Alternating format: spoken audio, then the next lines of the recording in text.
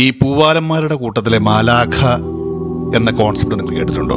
ആദ്യമായിട്ട് കേൾക്കല്ലേ? പൂവാലന്മാർ തന്നെ പ്രശ്നമാണ് പക്ഷെ അവരുടെ കൂട്ടത്തിൽ മാലാഖയോ?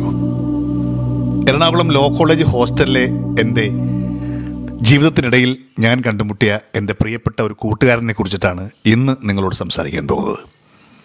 ഈ സംസാരത്തിൽ കുറേയേറെ തമാശകളുണ്ട് കുറച്ച് ജീവിത സത്യങ്ങളുണ്ട്. അല്പം അല്പമല്ല കുറേയേറെ സങ്കടവുമുണ്ട്. കാരണം ഞാനിന്ന് നിങ്ങളോട് സംസാരിക്കാൻ പോകുന്ന ആ കൂട്ടുകാരൻ ഇന്ന് ജീവിച്ചിരിപ്പില്ല. പത്ത് വർഷത്തിന് മുമ്പ് ക്യാൻസറിന് കീഴടങ്ങേണ്ടി വന്നു എന്റെ പ്രിയപ്പെട്ട കൂട്ടുകാരൻ. ഒന്നിനും കീഴടങ്ങാത്ത കൂട്ടുകാരനായിരുന്നു. മുരളി എന്നായിരുന്നു അദ്ദേഹത്തിന്റെ പേര്. ഞാൻ ഇതിനു മുമ്പ് മുരളിയെക്കുറിച്ച് സംസാരിച്ചിട്ടുണ്ട്. ഒരുപാട് വേദികളിൽ ഞാൻ മുരളിയെക്കുറിച്ച് സംസാരിക്കാറുണ്ട്. കാരണം മുരളി ഒരു സംസാരിക്കപ്പെടേണ്ട വ്യക്തി തന്നെയായിരുന്നു. ഈ ഗോശ്രീ പാലമൊക്കെ വരുന്നതിന് മുമ്പ് ഞാറയ്ക്കൽ മുളവുകാട് ബോൾഗട്ടി ഇവിടുന്നൊക്കെ ആൾക്കാർ വന്നുകൊണ്ടിരുന്നത് ബോട്ട് വഴിയാണ്. ബോട്ട് വഴി എറണാകുളം ബോട്ട് കെട്ടി വന്നിറങ്ങും. അവർ ജോലിക്കായിട്ട് പോകും. എട്ടരയുടെ ബോട്ട് ആറരയുടെ ബോട്ട് പത്തരയുടെ ബോട്ട് ഒൻപതരയുടെ ബോട്ട് അങ്ങനെയാണ് ഓരോ ബോട്ടുകളും അറിയപ്പെട്ടിരുന്നത്. ഈ ബോട്ടുകൾ വഴി എറണാകുളത്തെ വ്യത്യസ്ത സ്ഥലങ്ങളിൽ ജോലി ചെയ്യുന്ന പെൺകുട്ടികൾ സുന്ദരിയായ പെൺകുട്ടികൾ രാവിലെ ഈ ബോട്ടിറങ്ങി ജെട്ടി റോഡ് വഴി ഈ പറഞ്ഞ ലോ കോളേജ് ഹോസ്റ്റലിന്റെ മുന്നിൽ കൂടെയാണ് അവരുടെ ജോലിക്കായിട്ട് പോകുന്നത്. നേരത്തെ പറഞ്ഞ പ്രിയപ്പെട്ട മുരളി ഞങ്ങളുടെ കൂട്ടത്തിലെ ഏറ്റവും മനോഹരമായി കമന്റ് അടിക്കുന്ന അതായത് കമന്റ് രണ്ട് കാര്യങ്ങളുണ്ട്. ഫേസ്ബുക്ക് ഇപ്പോൾ കമന്റിനെ കുറിച്ച് ഞാൻ പറയുന്നില്ല. കമന്റ് അടിയെന്ന് പറഞ്ഞു കഴിഞ്ഞാൽ കമന്റ് അടിക്കുന്നയാൾക്കും അത് കേൾക്കുന്നയാൾക്കും എൻജോയ് ചെയ്യും. എൻജോയ് ചെയ്യാൻ പറ്റണം. മുരളി അത്തരത്തിൽ കമന്റ് അടിക്കാൻ വിദഗ്ധനായിരുന്നു. അത് സ്ത്രീകൾ മാത്രമല്ല അധ്യാപകരെയും ഞങ്ങളെയൊക്കെ പുള്ളി കമന്റ് അടിക്കും. ആ കമന്റ് അടി കേൾക്കാൻ ഒരു രസമാണ് ഒരു താളമാണ്. അങ്ങനെ മുരളിയുടെ റൂട്ടീൻ ആരംഭിക്കുന്ന രാവിലെ ഒരു അഞ്ച് മണിക്ക് എഴുന്നേറ്റ് ജെട്ടിയിൽ പോയി ഒരു കടയിൽ പോയി ഒരു ചായയെ കുടിച്ചിട്ട് നേരെ വന്നിരുന്ന് കഴിഞ്ഞാൽ മുരളിയുടെ കയ്യിൽ പഴയ ഒരു ഗിത്താറുണ്ട്. എവിടുന്നോ അടിച്ചു മാറ്റിയെന്നാണ് പറയപ്പെടുന്നത്. മൂന്ന് കമ്പികളേ ഉള്ളൂ. ഇടയ്ക്ക് ആ അതിനെക്കുറിച്ച് അവൻ തന്നെ പറയും എന്തിന് പാർശ്വതി മീട്ടുപതിനിയും തന്ത്രികൾ പൊട്ടിയ തമ്പുരുവിലെന്ന്. അമ്മാതിരി ഒരു ഗിറ്റാർ കയ്യിലുണ്ട്. അപ്പോൾ ഏകദേശം ഓരോ സമയങ്ങളിൽ ഓരോ ടൈപ്പ് ജോലിക്കാർ ആണുങ്ങളും പെണ്ണുങ്ങളും ആ വഴിക്ക് പോകും. മിക്ക ആൾക്കാരെയും മുരളിക്കറിയാം പേരെടുത്തറിയാം. അത്രയ്ക്ക് പരിചയമാണ്. ഈ എട്ടരയ്ക്കുള്ള ബോട്ടിലാണ് കഥ തുടങ്ങുന്നത്. എല്ലാ ദിവസങ്ങളും എട്ടരയ്ക്കുള്ള ബോട്ടിൽ കുറച്ച് സെയിൽസ് ഗേൾസ് നമ്മുടെ എറണാകുളത്തെ ജയലക്ഷ്മിയിൽ വർക്ക് ചെയ്യുന്ന കുറച്ച് സെയിൽസ് ഗേൾസ് വരും. എല്ലാ സുന്ദരിമാർക്കും അവരെ കമന്റ് അടിക്കുവാനായിട്ട് മുരളിയുടെ ഓരോ പാട്ടുകളുണ്ട്. ആ പാട്ടുകൾ അവിടെ ഇരുന്ന് രസകരമായിട്ട് പാടുക. ഈ ഗിറ്റാറിനകത്ത് ഈ ഗിറ്റാറും പാട്ടുമായിട്ട് യാതൊരു ബന്ധവും ഉണ്ടാവുകയില്ല. അപ്പോൾ ജയലക്ഷ്മിയിലെ പാട്ട് അവരുടെ ജിങ്കിൾ തന്നെയാണ് മുരളി പാടാറുള്ളത്. മധുര സ്വപ്നങ്ങളേകും ജയലക്ഷ്മി. കിന്നാരം പറയുന്നു. ജയലക്ഷ്മി. എടി ജയലക്ഷ്മി ആതിരെ അഞ്ജലി അങ്ങനെ ഓരോ പേരെടുത്ത് വിളിക്കുവാൻ മുരളിക്ക് മുരളിക്കറിയാം ഈ കുട്ടികളൊക്കെ മുരളിയെ നോക്കി ചിരിച്ചുകൊണ്ട് പോകും ചിലപ്പോൾ അമർഷം കൊണ്ട് പോകും പക്ഷേ ഒരിക്കലും മോശമായിട്ട് മുരളി അവരോട് സംസാരിച്ചിരുന്നില്ല. ഇനി അവരങ്ങോട്ട് പോയി കഴിയുമ്പോഴത്തേക്കും എറണാകുളം കുഞ്ഞാലൂസ് ഹോസ്പിറ്റൽ ഇപ്പോൾ ആ ഹോസ്പിറ്റൽ ഉണ്ടോ എന്ന് എനിക്കറിയില്ല. അവിടുത്തെ നേഴ്സന്മാർ വരും. മുരളിയുടെ ഭാഷയിൽ ആതുര ശുശ്രൂഷ രംഗത്തെ മാടപ്രാക്കളാണ് ഈ നേഴ്സന്മാർ അവർക്കും ഉണ്ട് പാട്ട്. അവർ വരുമ്പോൾ മാടപ്രാവേവാ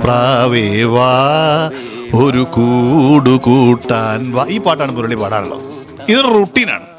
ഇത് കൂടാതെ മുരളി ആരെയും വെറുതെ വിടാറില്ല. എല്ലാവരെയും പുള്ളി കമന്റ് അടിക്കും.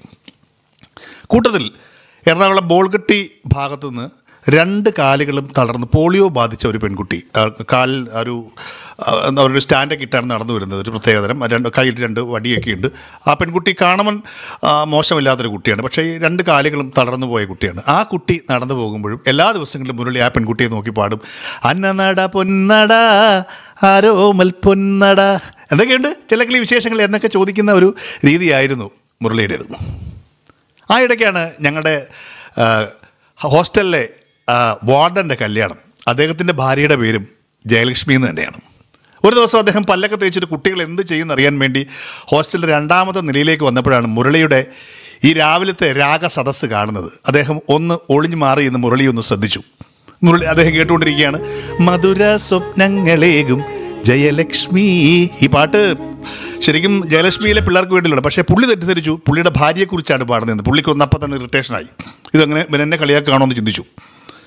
നെക്സ്റ്റ് കുഞ്ഞാലൂസിന്റെ ടീമുകൾ വരുന്നു. അപ്പോൾ നേരത്തെ പറഞ്ഞ മാടപ്രാവയവ പാടുന്നു.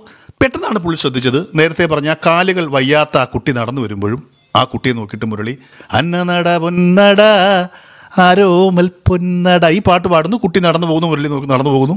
ഇതോടുകൂടി പുള്ളിയുടെ ശുഭിത യൗവനം പുറത്തേക്ക് ചാടി. ഒരു എല്ലാവരെയും കളിയാക്കിക്കോട്ടെ പക്ഷേ ഈ ഒരു കാൽ വയ്യാത്ത കുട്ടിയെ പോലും ഇവൻ വെറുതെ വിടുന്നില്ല. സഹതാപം അർഹിക്കേണ്ട കുട്ടിയാണ്. അയാൾ ചാടി അദ്ദേഹത്തിന്റെ അടുത്തേക്ക് എത്തി മുരളിയുടെ അടുത്തേക്ക് എത്തി. അതിനുശേഷം മുരളിയെ ഷൗട്ട് ചെയ്തു നീ എന്ത് മനുഷ്യനാണ്? എന്നൊക്കെ ചോദിച്ചു ഒരുപാട് ചൂടായി. കൂട്ടത്തിൽ അദ്ദേഹം പറഞ്ഞു നീ എല്ലാവരെയും കളിയാക്കിക്കോളൂ. ആ പെൺകുട്ടിയെ പോലും നീ വെറുതെ വിളിക്കുക നീ എന്ത് മനുഷ്യനാടാ? എന്നൊക്കെ പറഞ്ഞു. മുരളി ഒരു അക്ഷരം ഉണ്ടാതെ കൈകെട്ടി നിൽക്കുകയാണ് എന്തായാലും അന്ത്യശാസ്ത്രവും കൊടുത്തു. നാളെ മുതൽ നീ ഇങ്ങനെ പാടിക്കഴിഞ്ഞാൽ നിന്നെ ഈ ഹോസ്റ്റലിൽ നിന്ന് പുറത്താക്കും. ഞാൻ അത് റിപ്പോർട്ട് ചെയ്യുമെന്നൊക്കെ പറഞ്ഞു. മുരളി അക്ഷരം വേണ്ടിയില്ല അങ്ങനെ അതവിടെ കഴിഞ്ഞു പോരുന്നു. പിറ്റേ ദിവസം സാർ എന്നെയും കൂടെ കൂട്ടിയാണ് മുകളിലേക്ക് ചെല്ലുന്നത്. കാരണം മുരളി രാവിലെ ഇത്തരത്തിലുള്ള അഭ്യാസങ്ങൾ കാണിക്കുന്നു എന്നറിയാൻ രഹസ്യമായിട്ടാണ് ചെല്ലുന്നത്. പിറ്റേ ദിവസം ഞങ്ങൾ നിൽക്കുമ്പോൾ കാണുന്ന കാഴ്ച മുരളി മുരളിയുടെ ഗിറ്റാറുമായിട്ട് അവിടെ തന്നെ ഇരിപ്പുണ്ട്. ആസ് യൂഷ്വൽ നമ്മൾ നേരത്തെ പറഞ്ഞ ജയലക്ഷ്മിയിലെ പെൺകുട്ടികൾ വരുന്നു. മുരളി മിണ്ടുന്നില്ല. പലർക്കും പല എക്സ്പ്രഷൻസുകളാണ് ഇവൻ എന്താ ഇന്ന് മിണ്ടാത്തത്? ഇവന്റെ ഇത് അടിച്ചു പോയോ? ഇവന്റെ റേഡിയോ നിർത്തിയോ? ചിലരിങ്ങനെ എക്സ്പ്രഷൻ കൊണ്ട് ചോദിക്കുന്നില്ല എന്തേ? ഇന്ന് ഇല്ലേ?